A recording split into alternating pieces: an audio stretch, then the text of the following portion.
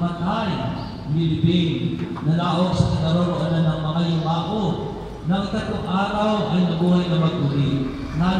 sa kanya ng Diyos amang makapangyarihan sa lahat.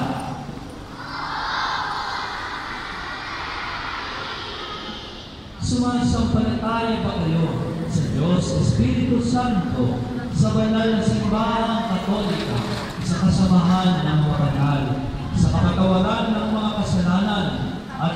buhay na muli ng nangamatay na tao at sa buhay na walang hanggan